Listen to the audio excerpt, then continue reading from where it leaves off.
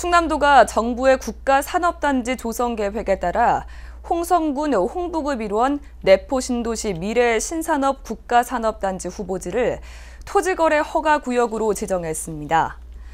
대상 지역은 홍성군 홍부급 대동리 산 89의 27번지 일원 1179필지로 오는 25일부터 5년간 토지 거래 계약 허가 구역으로 지정됐습니다.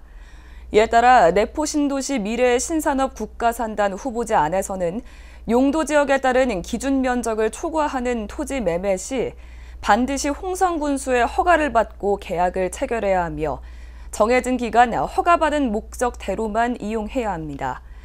허가받지 않고 계약하거나 부정한 방법으로 거래하면 2년 이하의 징역 또는 취득가액의 30% 이하의 벌금에 처합니다.